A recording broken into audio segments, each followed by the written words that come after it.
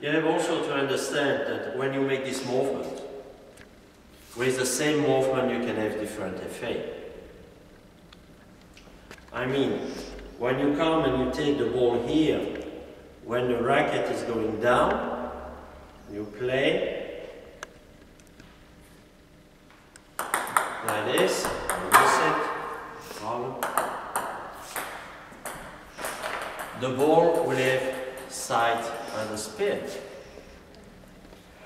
If you take the ball just at that moment here, most will be with just side spin.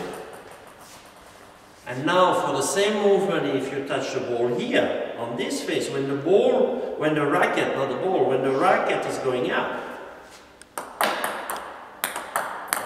then you will have side and top spin service.